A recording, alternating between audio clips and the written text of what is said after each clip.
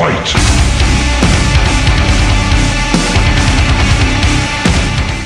Yo, what up guys? It's Redline bringing you a new video today. Today's video is another Mortal Kombat fatalities, brutalities, and x-rays. This one is Jax against Johnny Cage as requested by Dillon Lucas.